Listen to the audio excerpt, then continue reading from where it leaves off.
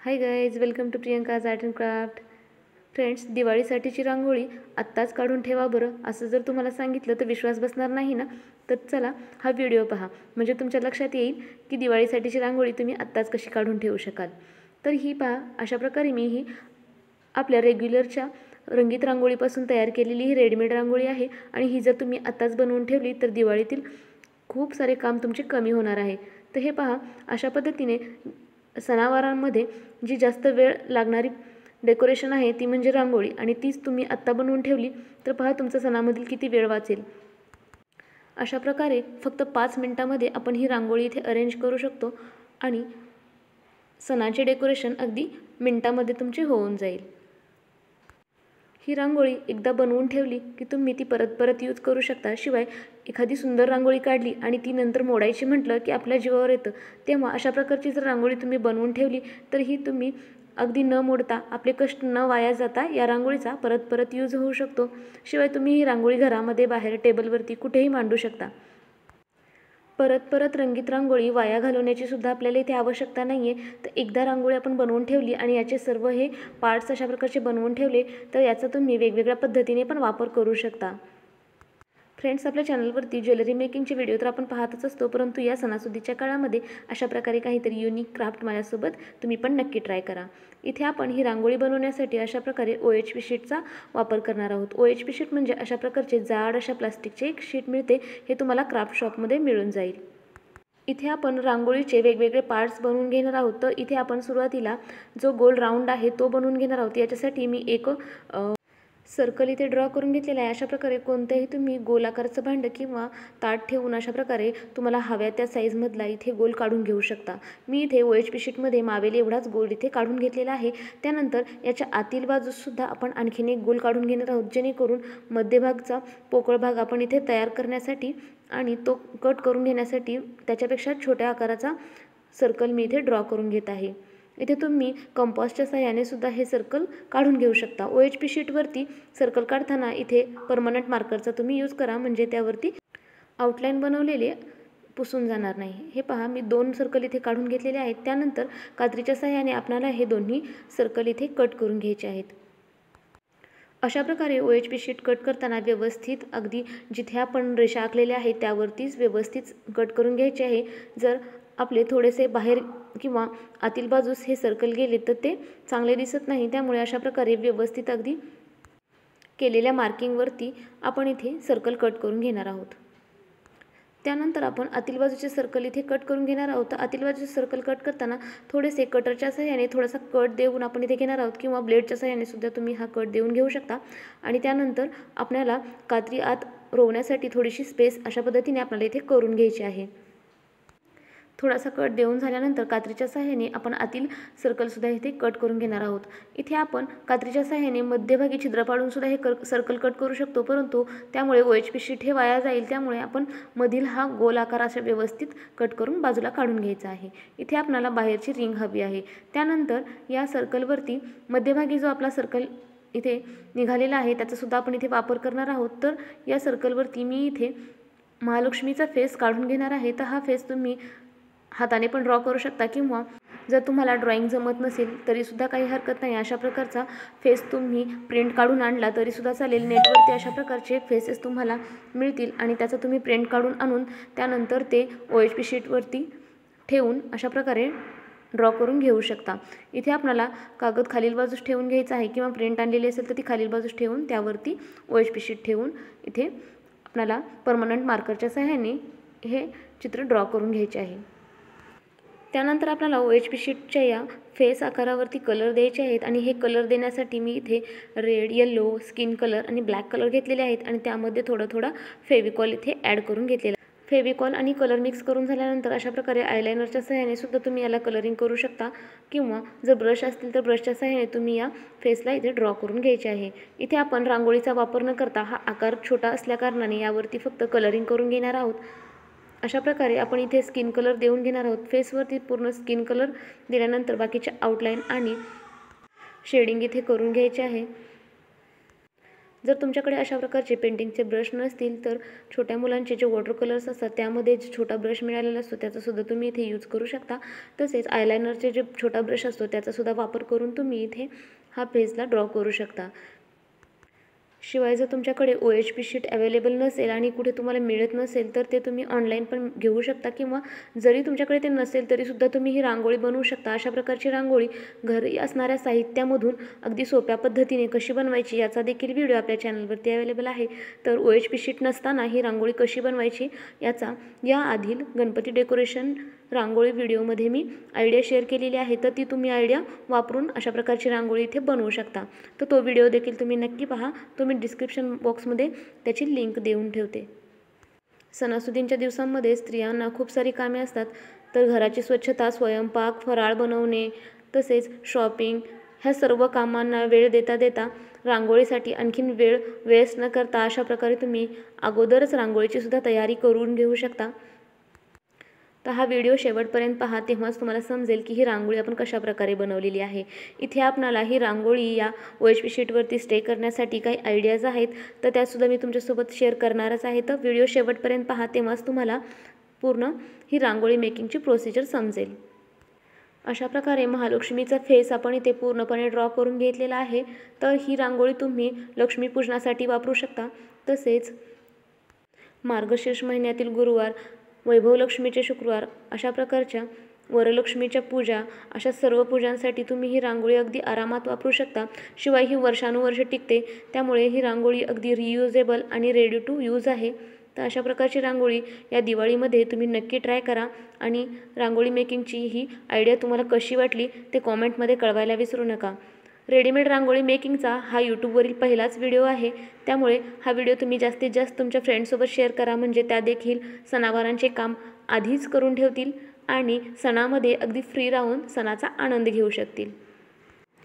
इथे आपण मुकुट आणि त्याबाहेरील बाजूस येलो कलर देऊन घेतलेला आहे. इथे मी हे सर्व ॲक्रॅलिक कलर्स यूज केलेले आहेत. इथे तुम्ही वॉटर कलर किंवा इतर कोणतेही कलर यूज करू नका. कारण ते या ओ एच पी शीटवरती स्टे करणार नाही तर याच्यासाठी आपल्याला इथे ॲक्रेलिक कलरच घेणे आवश्यक आहे. फक्त थोडीशी मेहनत आणि रियुजेबल अशी ही सुंदर रांगोळी आपली इथे रेडी होणार आहे. सणासुदींच्या वेळेमध्ये अशा प्रकारे रांगोळीला वेळ न वाया घालवता जर आपण आधीच सुंदर रांगोळी बनवून ठेवली तर आपला वेळसुद्धा इथे वाचणार आहे. त्यानंतर सर्व रंग देऊन झाल्यानंतर मी इथे थोडंसं फेविकॉल घेतलेला आहे आणि त्यामध्ये बेबी पावडर घेतलेली आहे. इथे तुम्ही कोणतीही पावडर यूज करू शकता. आणि त्यामध्ये थोडासा ब्राऊन आणि ब्लॅक कलर मिक्स केलेला आहे. म्हणजे रेड आणि ब्लॅक याचं कॉम्बिनेशन करून हा ब्राऊन कलर इथे बनवून घेतलेला आहे. अशा प्रकारे आपण हे थ्री डी आउटलायनर बनवून घेणार आहोत. ही पेस्ट आपण मिक्स करून घेणार आहोत. आणि याचा एक कोनमध्ये पेस्ट भरून थ्री डी आउटलायनर कोण तयार करून घेणार आहोत? अशा पद्धतीने आपण कोणच्या सहाय्याने या डिझाईनला इथे हायलाईट करून घेऊ शकतो. अशा प्रकारचे कोण तुम्हाला रेडीमेड पण मिळतील परंतु अगदी घरातील साहित्यामध्ये तुम्ही हा कोण पटकन रेडी करू शकता. इथे तुम्ही गोल्डन आउटलायनरचा सुद्धा यूज करू शकता किंवा अशा प्रकारे ब्राऊन कलरचा यूज करू शकता. जर तुम्हाला अशा प्रकारे थ्री डी कोणलायनरने आउटलाईन काढायची नसेल तर तुम्ही इथे जरदोसी चिटकवून घेऊ शकता किंवा गोल्डन बॉल चेनसुद्धा चिटकवून घेऊ शकता. इथे तुम्ही कुंदन आणि मोती मणी यांचे वर्कसुद्धा करू शकता. अशा प्रकारे हा महालक्ष्मीचा फेस तुम्ही तुमच्या आवडीनुसार वेगवेगळ्या पद्धतीने डेकोरेट करून घेऊ शकता. जे डिझाईन आपण ड्रॉ केलेले आहे त्यावरती अशा प्रकारे थ्री डी कोन लायनरच्या साह्याने मी इथे डिझाईन काढून घेत आहे. त्यानंतर केलेले हे वर्क आपल्याला सुकण्यासाठी ठेवून द्यायचे आहे. सेम अशा पद्धतीने दुसऱ्या बाजूला आपण वर्क करून घेतलेले आहे. त्यानंतर जी आपण ओ एच पी शीटची अशा प्रकारे रिंग तयार केलेली होती कट करून ती आपण इथे घेतलेली आहे. आणि त्यावरती आपण बेसकोट लावून घेणार आहोत. आणि हा बेसकोट तयार करण्यासाठी हे पहा मी इथे फेविकॉल घेतलेले आहे. एका वाटीमध्ये फेविकॉल घेतलेले आहे. हे अंदाजेच घेतलेले आहे. ही क्वांटिटी तुम्ही तुमच्या डिझाईनच्या अकॉर्डिंग घेऊ शकता. त्यानंतर यामध्ये मी व्हाईट ॲक्रेलिक कलर मिक्स केलेला आहे. अशा प्रकारे आपण व्हाईट ॲक्रॅलिक कलर आणि फेविकॉल यांचे मिक्सचर इथे तयार करून घेणार आहोत आणि हे व्यवस्थित ब्रशच्या सहाय्याने आपण इथे मिक्स करून घेणार आहोत. अशा प्रकारे आपण हा बेस कोट इथे तयार करून घेतलेला आहे. अशा प्रकारे हा बेस कोट देऊनच आपण या ओ एच पी शीटवरती वर्क करून घेणार आहोत. तयार केलेला हा होममेड बेस कोट आपण या ओ एच पी शीटवरती इथे देऊन घेणार आहोत. ओ एच पी शीट नसेल तरीसुद्धा ही तुम्ही रांगोळी बनवू शकता तर ती कशी बनवायची हे तुम्ही या आधीच्या गणपती डेकोरेशनच्या रांगोळी व्हिडिओमध्ये नक्की पहा. अशा प्रकारे आपण हा कोट पूर्ण या ओ एच पी शीटच्या रिंगला पूर्णपणे देऊन घेणार आहोत. हा आपणाला फ्लॅट बसावा अशा पद्धतीने व्यवस्थित सर्व बाजूंनी देऊन घ्यायचा आहे. अशा प्रकारचा बेस कोट जर आपण न देता यावरती रांगोळी चिटकवायला घेतली तर ती अजिबातच चिटकणार नाही आणि चिटकली तरी ती व्यवस्थित दिसणार नाही. कारण खालील बाजूचा जो बेस आहे तो आपला इथे ट्रान्सपरंट आहे. त्यामुळे अशा प्रकारचा बेस कोट देणे फार महत्त्वाचे आहे. आणि असा बेसकोट न देता जर आपण रांगोळी चिटकावली तर रांगोळीचा कलर पण तिथे उठून नाही दिसणार. शिवाय ते आर्टिफिशियल दिसेल. आपण जी रांगोळी बनवणार आहोत ती आपणाला अगदी नैसर्गिक आणि सुंदर हाताने काढलेली आहे अशीच दिसायला हवी असेल तर अशा प्रकारे बेसकोट तुम्ही पूर्ण जो बेस आहे त्याला देऊन घ्यायचा आहे. इथे आपल्या या रिंगला बेसकोट देऊन झालेला आहे हे आपण आता सुकण्यासाठी ठेवून देणार आहोत. त्यानंतर पुढे आपण आणखीन एक ओ एच पी शीट घेतलेले आहे आणि त्यावरती अशा प्रकारे मोराच्या बॉडीचा आकार इथे कट करून तो चिटकवून घेणार आहोत. इथे आपण ड्रॉ न करता याला ड चिकट टेपच्या सहाय्याने ओ एच पी शीटवर स्टेबल करून घेणार आहोत आणि हा आकार आपण इथे ओ एच पी शीटचा कट करून घेणार आहोत. अशा प्रकारे आपण मोराच्या बॉडीचा आकार कट करून झाल्यानंतर याला देखील बेस कोट देऊन घेणार आहोत. तो बेस कोट आपण आधी पाहिल्याप्रमाणेच बनवून घ्यायचा आहे आणि आपणाला जेवढा हवा आहे तेवढा इथे बनवून यूज करायचा आहे. हा थोड्या वेळाने सुकून जातो आणि त्यामुळे आपल्या आर्टवर्कला फिनिशिंग येत नाही. त्यामुळे जेवढ्या आपणाला हा बेसकोट हवा आहे त्या पद्धतीने थोडा थोडा आपण बनवून ओ एच पी शीटवरती अशा प्रकारे ब्रशच्या सहाय्याने इथे अप्लाय करून घ्यायचा आहे. अशा प्रकारे आपण मोराच्या बॉडीला इथे बेसकोट देऊन घेतलेला आहे आणि हा आपण इथे सुकण्यासाठी ठेवून देणार आहोत. त्यानंतर आपण मोरपिसाचे अशा प्रकारचे डीप शेपचे पीस पण बनवून घेतलेले आहेत आणि ते देखील बेसकोट देऊन सुकवून घेतलेले आहेत. त्यानंतर आपण जो रिंग आकार तयार करून घेतलेला होता त्यावरती इथे फॅब्रिक ग्लू ॲप्लाय करून घेणार आहोत. इथे आपणाला फेविकॉल न वापरता फॅब्रिक ग्लूच वापरायचा आहे. तर अशा पद्धतीने आपण फॅब्रिक ग्लू ॲप्लाय करून घेतल्यानंतर त्यावरती रांगोळी काढून घेणार आहोत. इथे आपणाला फॅब्रिक ग्लूवरती ही रांगोळी व्यवस्थित चिटकवून घ्यायची आहे. इथे जर तुम्ही फेविकॉल यूज केला तर याचे तुकडे तुकडे नक्कीच निघून जातील. त्यामुळे अशा प्रकारे सर्व टिप्स आणि ट्रिक्ससहित ही रांगोळी कशी बनवायची हे तुम्हाला पाहायचे असेल तर व्हिडिओ शेवटपर्यंत नक्की पहा.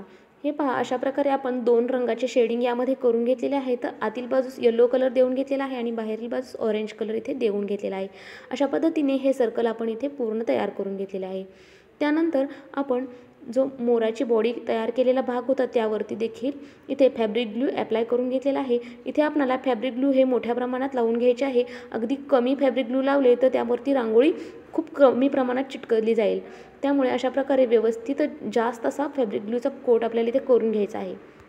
शिवाय हे फॅब्रिक ग्लू ॲप्लाय करताना आपल्याला आणखीन एक गोष्ट लक्षात घ्यायची आहे. ती म्हणजे ब्रशच्या साह्याने सर्व ग्लू हा इव्हन आपल्याला इथे पसरवून घ्यायचा आहे. सगळीकडे व्यवस्थित सेम क्वांटिटीमध्ये हा ग्लू पसरला गेला पाहिजे.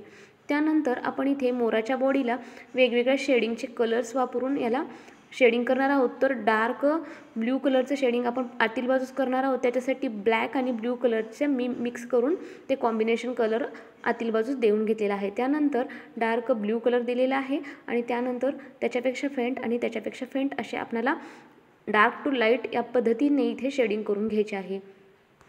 फॅब्रिक ग्लू हे खूप जास्त प्रमाणात आपल्याला इथे देऊन घ्यायचे आहे. आणि शिवाय सर्वच आकारांवरती एकदम फॅब्रिक ग्लू लावून नाही घ्यायचे आहे तर अशा प्रकारे एक एक आकार आपल्याला फॅब्रिक ग्लू लावून त्यावरती रांगोळी अप्लाय करायची आहे. कारण फॅब्रिक ग्लू हा सुकल्यानंतर त्यावरती रांगोळी ही चिटकणार नाही आहे तर अशा प्रकारे आपण एक एक पार्टवरती ही रांगोळी इथे चिटकावून घेणार आहोत. तर अशा प्रकारे फॅब्रिक ग्लू लावून त्यानंतर त्यावरती रांगोळी चिटकवून झाले की ही रांगोळी तयार झाली असे नाही आहे तर याच्यावरती आणखीन पुढे प्रोसिजर आहे. तर व्हिडिओ शेवटपर्यंत पहा. अशा प्रकारे आपण या मोराच्या बॉडीवरती पूर्ण रांगोळी इथे पसरवून घेतलेली आहे आणि ही रांगोळी सुकण्यासाठी आपणाला दोन ते तीन तास वेळ लागतो. तर त्यामुळे ती सुकण्यासाठी बाजूला ठेवून द्यायची आहे. इथे आपण जे मोरपिसाचे लीफ आकार इथे बनवून घेतलेले आहेत त्यावरती देखील आपण बेस कोट देऊन ते सुकवून घेतलेले आहे आणि त्यावरती आपण इथे आता फॅब्रिक ग्लू अप्लाय करून घेतलेला आहे. इथे मोराच्या पिसाचा रंग आपल्याला देऊन घ्यायचा आहे. तर इथे पहिल्यांदा ब्लॅक त्यानंतर थोडासा लाइट ब्लू ग्रीन येल्लो आणि ऑरेंज असे कलर देऊन आपण इथे मोरपीस तयार करून घेणार आहोत. त्यानंतर ब्राऊन कलर देणार आहोत. अशा प्रकारे आपण बारीक रेषांच्या सहाय्याने हे रंग इथे देऊन घ्यायचे आहेत. तेव्हाच आपले हे सर्व रंग एका मोरपीसमध्ये ॲडजस्ट होणार आहेत. अशा प्रकारे आपण या मोरपीसला सुद्धा सुकण्यासाठी ठेवून दिलेला आहे. जो आपण सुरुवातीला तयार करून घेतलेला भाग होता त्यावरती अशा प्रकारे आपण आता इथे वर्क करून घेणार आहोत. तर इथे मी कुंदन आणि स्टोनचे वर्क या महालक्ष्मी फेसवरती करून घेणार आहे. इथे तुम्ही golden ball chain stone chain याचा देखील हे वर्क करण्यासाठी यूज करू शकता. तुमच्याकडे जे साहित्य अवेलेबल आहे त्यामध्ये तुम्ही हा महालक्ष्मीचा फेस इथे डेकोरेट करून घेऊ शकता. अशा प्रकारे ही रेडीमेड रांगोळी आपण इथे डेकोरेट करून घेणार आहोत.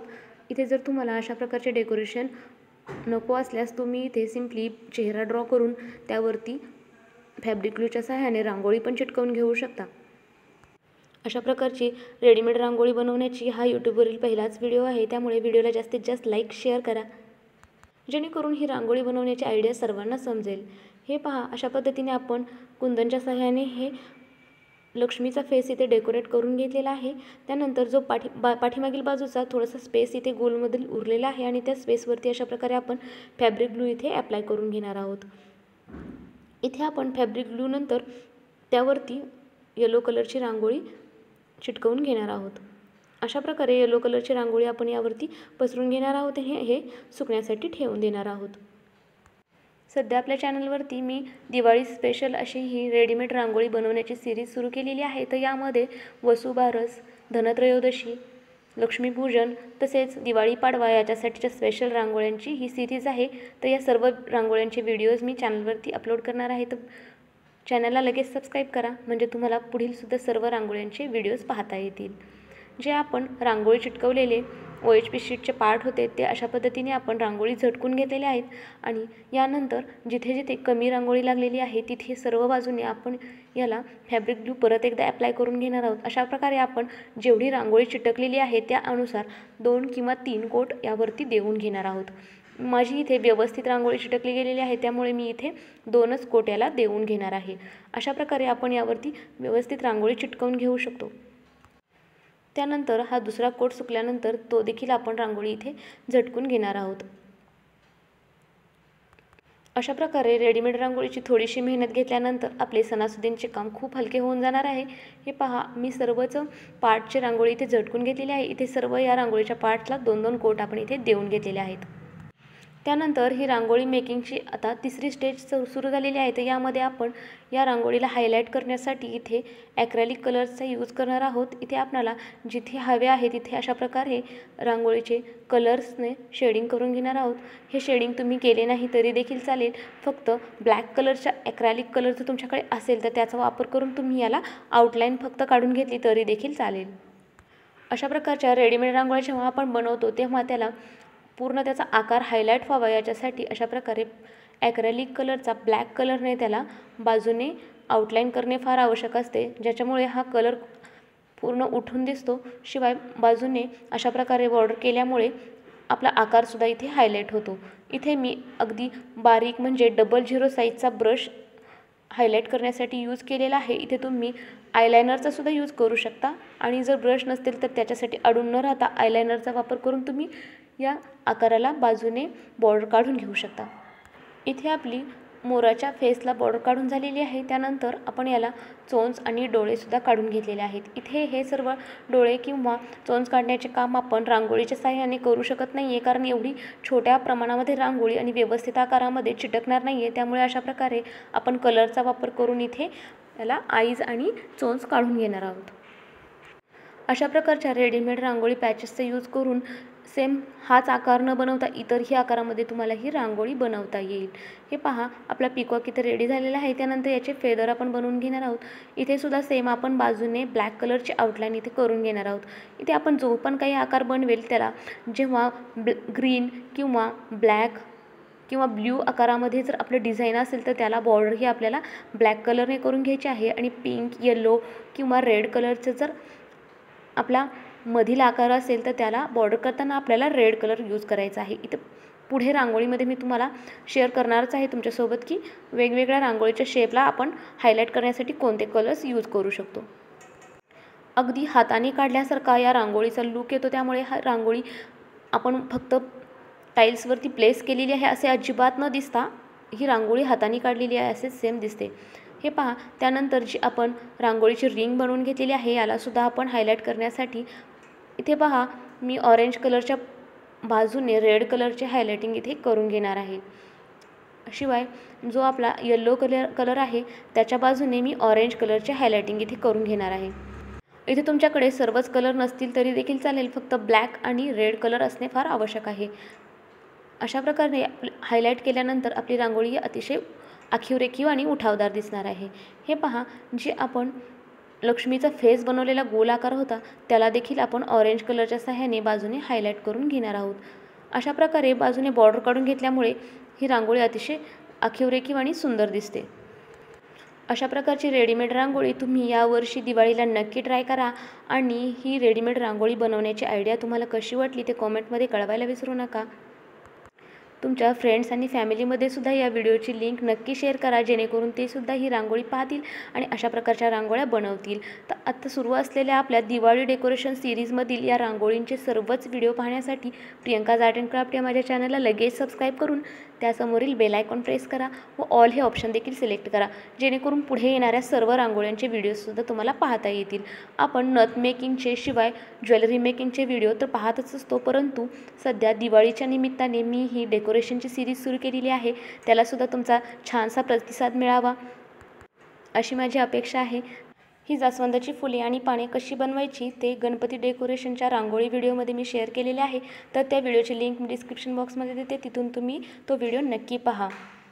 आणि हो ही रांगोळी तुम्हाला कशी वाटली ते कॉमेंटमध्ये कळवायला विसरू नका.